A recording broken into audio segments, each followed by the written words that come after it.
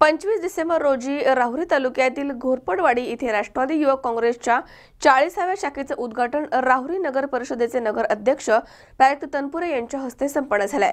यावेळी नगराध्यक्ष प्रायक्त तनपुरे यांनी भाजप सरकार आणि आमदार कर्डिले यांच्यावरती सडकून टीका केली आहे आमदार कर्डिलेंचं नाव फेकू सिंग असायला हवं होतं असा टोला त्यांनी लगावलाय.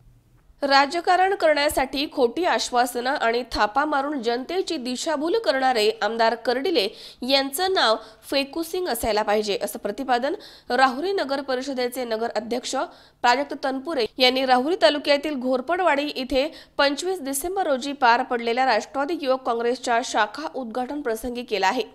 यावेळी प्रमुख पाहुणे म्हणून ग्रामपंचायत सदस्य हरिभाऊ कापसे बुवाजी शेंडगे धीरज पानसंबळ राहुरी नगर परिषदेचे नगरसेवक बाळासाहेब उंडे आदी इथे उपस्थित होते.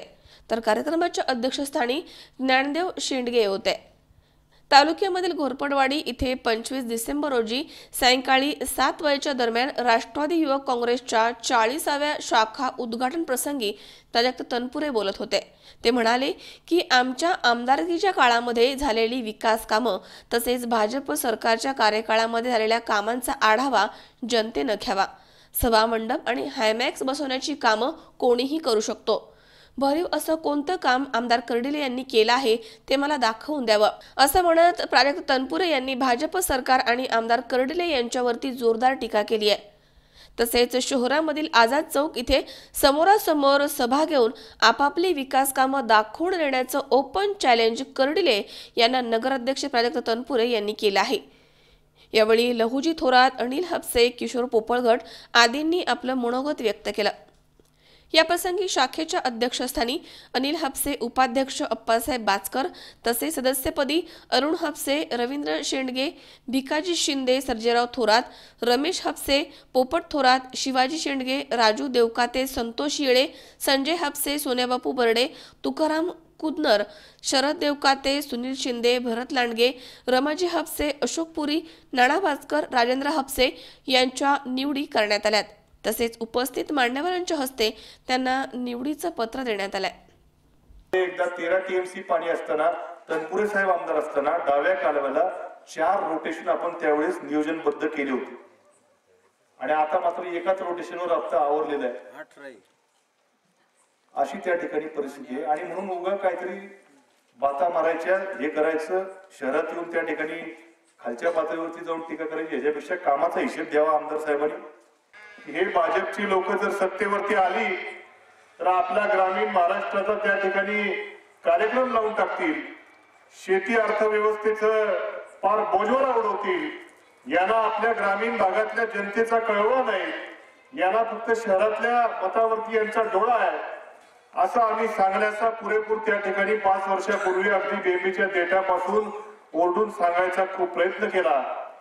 पण आपल्या सगळ्याच्याच डोक्यात त्यावेळी एक वेगळी लाट होती. एक वेगळी हवा त्यावेळेस सर्वांच्या डोक्यामध्ये विशेष करून तरुण मित्रांच्या आमच्या डोक्यामध्ये वेगळीच भावना त्यावेळेस घुसलेली होती. आणि आम्ही स्टेजवरती इतर विचार मांडायचो. आम्ही स्टेजवरती गावोगावी जाऊन भाषण करायचो पण आमच्यापैकी निम्म्यांची घरच्यांची मतं त्यांनी टीव्हीवरती येऊन पळवली होती. अशा प्रकारचं भावनिक वातावरण पाच वर्षापूर्वी आपण पाहिलं. आणि त्या भावनेच्या लाटेमध्ये भले भले लायकी नसणारी माणसं निवडून आली. कोणी खासदार झाला कोणी आमदार झाला. एकदाही धनगर आरक्षणाच्या विषयावरती आमदार शिवाजी कर्डिले या विधानसभेमध्ये कधीही त्या ठिकाणी बोललेले नाहीत किंवा आरक्षणाचा प्रश्न घेऊन मुख्यमंत्र्याकडे गेलेत किंवा काय भांडलेत किंवा कधी विषय लावून धरलाय मला दाखवावं. यांना मतं घेण्याकरता फक्त राजकारण चालतं. पण जेव्हा प्रश्न मांडायचे असतील त्यावेळी मात्र यांनी एकदाही त्या ठिकाणी धनगर आरक्षणाचा प्रश्न आपल्या आमदार शिवाजी कर्डिले यांनी कुठं मांडलेला नाही. आणि मतं घ्यायला जर यांना गोड लागत असतील तर जरा हिसका दाखवायची पण त्या ठिकाणी वेळ आलेली आहे. वर्षभरामध्ये विधानसभा निवडणुका लागणार आज जरा वेळ अजून विधानसभेला. आणि म्हणून आपल्या सर्वांवरती जबाबदारी आहे. यांना यांची जागा दाखवून देण्याची. काल परवा मला वाटतं कालच राहुरीमध्ये एक कार्यक्रम घेतला. आझाद चौकामध्ये कार्यक्रम झाला. मला आता कार्यक्रम होता कुठला तेच कळायचा मार्ग नाही पेपरच्या बातम्या बघून किंवा तुमच्या चॅनलच्या बातम्या बघून नेमका कार्यक्रम कुठला होता हेच तुम्हाला कळणार नाही. कार्यक्रम फक्त माझ्यावरती टीका करण्याचा त्या ठिकाणी कार्यक्रम काल घेतलेला आहे. मी आजही म्हणत नाही किंवा मी अजून कधीच म्हटलेलो नाही. की मी विधानसभेला उभं राहणार का? मला आमदार करा का? मला आमदार केलं उभं राहायचं आहे. मी या ठिकाणी फक्त शरद पवार साहेबांचा कार्यकर्ता राष्ट्रवादी काँग्रेसचा कार्यकर्ता. म्हणून या ठिकाणी राष्ट्रवादी काँग्रेसचे विचार तळागाळापर्यंत तरुण मुलांपर्यंत पोहोचवण्यासाठी आज ही शाखा या ठिकाणी उघडलेली आहे. पक्ष म्हटला मला विधानसभा लढतं मी लढायला तयार आहे. पक्ष म्हटला थांब तर मी थांबायला तयार आहे.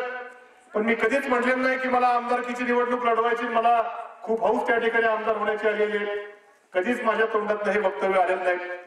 पण आपल्या आमदार साहेबांना जर उठता बसता खाता पिता त्या ठिकाणी माझंच नाव दिसत असेल माझ्यावरतीच टीका टिप्पणी होत असेल तर माझाही नाईलाज आहे. कालच्या सभेमध्ये कार्यक्रम कुठला होता तालुक्यातून बरेचसे सगळे पुढारी एकत्र केले त्यांचे जसं दाखवायला. राहुरी शहरात की मी खूप त्या ठिकाणी माझ्याकडे त्या ठिकाणी कार्यक्रम राहुरी शहरातला तालुक्यातले तिकडचे सगळे कार्यकर्ते गोळा करून चार पाचशे लोकांची गर्दी केली. आणि कार्यक्रम राहिला बाजूलाच. माझ्यावरतीच त्या ठिकाणी तोंडसुख सगळ्यांनी घेतलं. काय म्हटले याला आमदार व्हायची घाई लागली. याला अमुक आहे तमुक आहे अजून काय बोलले अजून काय? काय बोलावं हे हे स्वतःच तुम्हाला सांगतो मागच्या टर्ममध्ये एकदा जेलमध्ये गेले होते. जेलमधनं बाहेर आल्यावरती हे म्हणले याचा मामा जयंत पाटील मंत्री म्हणे. आणि ह्यांनीच माझ्यासारख्या सामान्य कार्यकर्त्याला जेलमध्ये घातलं. अशी यांचे पेपर मधल्या कटिंग आहेत हे मी नाही बोललो त्यांचीच भाषण आहेत. आणि असं सांगून तुमची सहानुभूती घ्यायचा प्रयत्न मागच्या टर्मला यांनी केलेला आहे. हे ज्यावेळी जेलमधून सोडून आले त्यावेळी जसं काल महाराष्ट्र केसरी आपला तो झाला शेख जसा महाराष्ट्र केसरी झाल्यावरती गावामध्ये मिरवणूक काढली जाते आपल्या गावामध्ये आल्यावर सत्कार केला जातो. अशा प्रकारे महाराष्ट्र केसरी झाल्यासारखे हे जेलमधनं आल्यावर गावोगावी ढोल पिटून सत्कार घेतले त्यांनी. तुमच्या गावात आले असतील. मला तर वाटलं ऑलिम्पिकमध्ये भारताला मेडल बिडल मिळालं काय ना कुस्तीमध्ये म्हटलं असं मागच्या वर्षी जेलमध्ये सुरू आले गावागावी ढोल त्यांचे कार्यकर्ते फटाकडे वाजवायला ढोल वाजवायला. आणि त्यावेळेस काय सांगितलं म्हणे याचे मामा म्हणे जयंत पाटील मंत्री आहेत. यांनी कट कारस्थानातून मला जेल मारे काय संबंध आमचा? बरं ठीक आहे तेव्हा माझे मामा मंत्री होते. आता काय?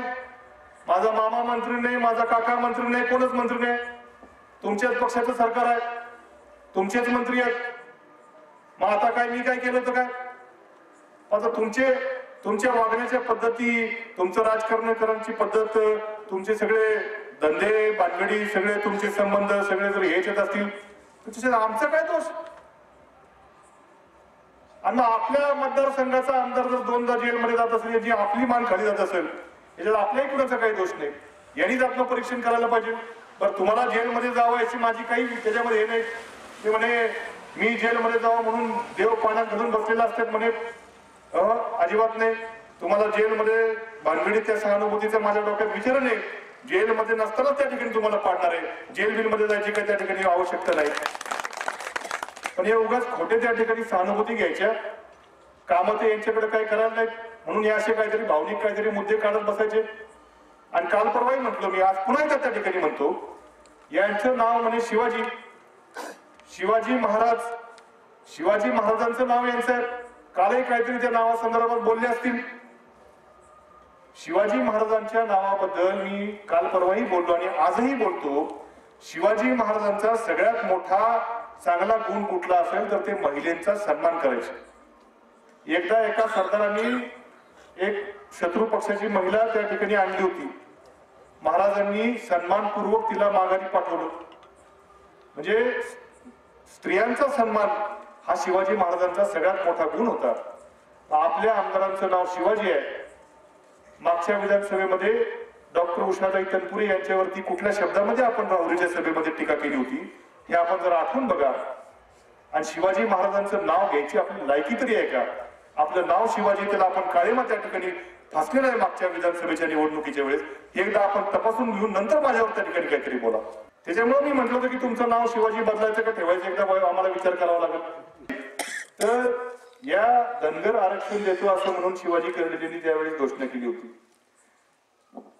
धनगरांच्या आरक्षणाच्या बाबतीत म्हणे मी त्या ठिकाणी विधानसभेमध्ये तुमची बाजू लावून अशी घोषणा शिवाजी कर्डिले यांनी केली होती. माझ्या पक्षाचं सरकार येऊ द्या. माझ्या पक्षाचा मुख्यमंत्री होऊ द्या. यामुळं धरणाचं पाणी जायकवाडीला जाण्यापासून मुख्यमंत्र्याच्या मानगुटीवर बसून मी राखवतो अशी घोषणा शिवाजी कर्डिले यांनी केली होती. माझ्या पक्षाचं सरकार येऊ द्या. निळवंडे धरणाचं पाणी दोन वर्षामध्ये राहुरी तालुक्यात आणतो अशी घोषणा शिवाजी कर्डिले यांनी केली होती. अरे मग यांच्या तर मोदी आणि फडणवीसलाही भारी पडायला लागलेत. आता यांचंच एखादं बारसं करायला पाहिजे. सत्यनारायण घालायला पाहिजे. आणि फेकू सिंग अशी पदवायची यांचं याचं नामकरण त्या बारशामध्ये केलं पाहिजे असं त्या ठिकाणी माझं मत आहे. मनोज साळवे सह सतीश फुलसौंदर सी चोवीस तास राहुरी. सबस्क्राईब करा आमच्या यूट्यूब चॅनलवर आणि बेल आयकॉनवरती क्लिक करा सर्वात पहिले आपल्या परिसरातील बातम्या बघण्यासाठी.